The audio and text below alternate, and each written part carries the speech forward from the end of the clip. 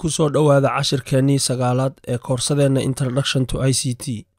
Cashirkan waxaan ku baranaynaa haddaad tahay qof windows horay u soo isticmaalay windows ten waxa uu uga duwan yahay windowsyadii hore u jiri jiray sida windows aid oo kale. Waxaan hore u soo nidhi meeshan waxaa loo yaqaanaa star menu. Meeshaana waxaa loo yaqaanaa star bottom. Meeshaana waxaa loo yaqaanaa tiles oo meelahan waxaa ku jira ablikeeshinadii softwaradii kombyuutarka ku jiray ayagoo loo ekeysiiya sidii mutreel oo kale. Marka meeshan waxaa loo yaqaanaa tiles. Waa barnaamijyada aad soo dhoweysato ama kuwa aad badanaa isticmaasho ama kuwa adugu aad meesha soo dhigatay. Windows tenku waa nuucii ugu dambeeyey ee windowsyada ay samay jirtay shirkaddii la yidhaahdo microsoft. Tan iyo goortii laga soo bilaabo sideetamayada dhammaadkeeda markuu bilowday windows isticmaalkiisu. Windows ten waxaa la soo saaray labada kun iyo shan iyo tobankii wuxuuna ahay mid looga maarmay windowskii ka horreeyey oo ahay windows aid oo aad iyo aad runtii si qaldan ay microsoft u soo saareen ayagoo markaas ka bixiyeen waxyaaba aan ku baran doonno cashirkan windows aid wuxuu ahay windowskii ugu khasaaraha badnaa microsoft windowsyaday samaydo oo wuxuu ahay windows ay isku dayeen inay wax badan ka beddelaan balse qaladkoodii inta ka barteen ayay waxay soo saareen windows ten. Marka windows tenku waxa uu ka fiican yahay windowsyadii ka horreeyey oo dhan. Koorsadanna waxaad ku baran doontaa waa windows ten. Waa windowsyada nuucii ugu dambeeyey ee la isticmaalo hadda. Tobanka sheeyoo ugu muhiimsan oo windows ten ku cusub ayaa waxa ay yihiin kow. Windows ten waxaa lagu soo celiyey deskitopkii oo windows aid deskitop maba lahaynba oo windows aid waxa uu u ekaay sidan buu u ekaay. Oo ma lahayn deskitop aad wax saarsaaran karto iyo ma lahayn star menu aad ku dhufan karto windows aidkii oo deskitopku sidan buu u egyahay marka deskitop la leeyahay waxaa awood u leedahay inaad brograamada meeshan kuu saaran aad dheehato aadna soo dhiga karto. Labo star menugani waa star menu ka qurxoon star menuyaashii ka horreeyey windows ten. Oo windows aid star menu ma lahayn windows seven waa uu lahaa balse windows ten tiisa ayaa ka qurxoon. Windows x b na iska badaaba waawa laga tega waa hore oo windows ten star menugiisu aadaa loo casriyeeyey waxaa la soo saaray mutureelayaal aa laga dhiga brograamyadiis meesha rabtaad gey kartaa mutureel aad yaryaray karto marna weyney karto dhankaana laguu soo dhigay brograamadii ayagoo ah alphabetical order sidaan ku soo barana cashirkii hore. Marka star menu la soo qurxiyey ayuu windows ten ku wataa windows ten sida brograamadiisa loo diyaariyey waa ka qurxoon yahay windowsyadii hore oo qofkii windowsyadii hore soo isticmaalay ayaa runtii dareemi kara sida loo sida loo soo diyaariyey windows ten brograamadiisa waa ka fiican yahay markii loo eego sida windowsyadii hore ay ahaa jireen.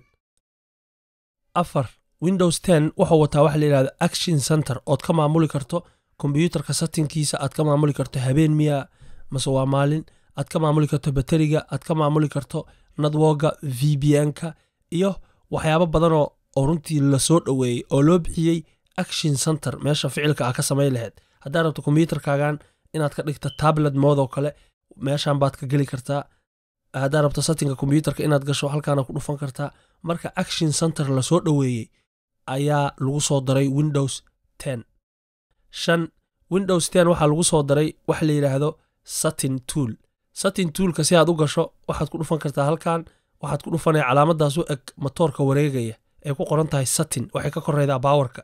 Haddaad ku dhufato waxaa kuu soo baxaya satin toolkan satin toolkan waxaad ka maamuli kartaa kombyuutarka luqadiisa wakhtigiisa akawnada ku jira brograamada ku jira sistamka hardwareka ku jirta telefoonkaaga nadwoga iyo iyo personalization oo kombyuutarka kalarkaad jeceshaa inaad geysato. Waxaaso dhan waa noo soo socdaan lix windows ten waxaa lagu soo kordhiyey waxa la yidhaahdo deskitop apps. Hadda calculatorka oo kale haddaan taabto wuxuu u soo baxayaa sidii app oo kale oo uma soo baxayo sida softwarekii oo caadiga la isticmaali jiray. Maxaa yeelay si qurxoon baa loo soo diyaariyay haddaa u fiirsato meeshaasaa ku dhufanaya si aad u sii hesho opshino kale. Marka deskitop app ayaa loo yaqaanaa. Deskitop app ayaa lagu soo daray waxa la yidhaahdo oo sidii meeshii brograamada la dhihi jiray install microsoft stora inta tagto ayaad waxaad soo gadan kartaa abab. Toddobo si xeelada wax u raadi. Windows ten waxaa lagu soo daray waxa la yidhahdo corotana corotana waa meeshaas goobaabinta ah ee madow. Haddaad ku dhufato codkaaga ayay dhegaysanaya mikrofoonkaaga ayadoo isticmaalaysa waana meeshii wax laga raadinaya waa sergi box. Sergi boxkan ama meesha wax laga raadiyo waxaa laga dhigay mid caqli badan. Haddaad ka raadinayso internetka wax iyo haddaad dukumenti raadinayso iyo haddaad raadinayso softwarada kombyuutarkaaga kugu jira wixii aad ku qortaba ayadaa kuu dhammaystiraya kuuna raadina hadda satina ku qoray satina ii soo saartay. Waxay tiri ma mouse satina rabtaa. Ma waxaa rabtaa windows update satin ma display satin. Wax walba oo satin ku saabsan. Marka waa tusaale waxaa lagu soo daray smart search waxa la dhaho. Sideed windows ten waxaa lagu soo daray internet browser cusub oo magaciisa loo yaqaano microsoft age microsoft age waa ka xawaaro badan yahay google chrome iyo mozilla firefox. Sidaa u jeedo microsoft age ayaa xawaaro badan oo aad iyo aad buu uga fiican yahay browserada hadda jira. Microsoft age waxa uu u shaqeeyaa kana shaqo fiican yahay google chromeka. Waxa uuna bedelay softwarekan loo aqoon jiray internet explorer. Internet explorer wuxuu uu la soco jiray windowsyadii hore windows ka soo bilaabo windows 98 95 2000 xp windows 7 windows vista windows 8 8.1 waa wada kulligood waa la socday. Markii la yimid windows 10 microsoft waa ay bedeleen sida oo web browserkooda u shaqeeyo. Browser waxaa la yidhaahdaa meesha laga galo websiteka aad u baahan taha inaad gasho. Browsero badan ayaa jira.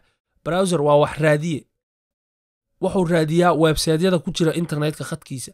Marka softwareka wax lagu raadiyo oo lagu galo websaytyada magaceeda waxaa la yidhahdaa browser microsoft marka waxay lahaa jirtay internet explorer wax la yidhaahdo google chrome waa browser. Internet explorer waa browser. Mozilla firefox waa browser. Kuwo badanaa jira. Sida obro kale waxaa jira mid la dhaho safari oo kale.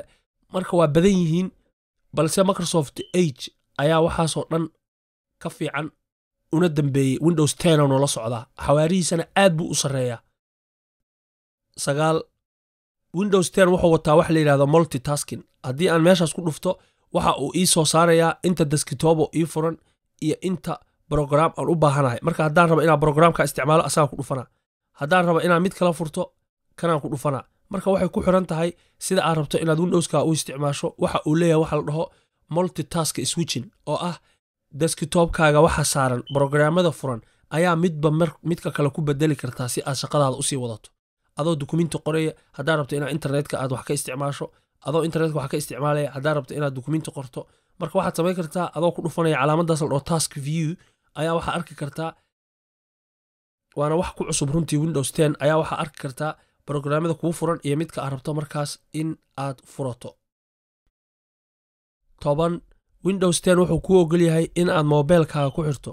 Adigoo tegaya start satin markaas kadib waxaa tegaya phone haddaad ad phone ku dhufato mobeelkaagiyaa kuu soo saarmaya haddaad u s b-ga inta mobeelkaaga ku xirto aad kombyuutarka ku xirto halkan buu kaaga soo baxayaa.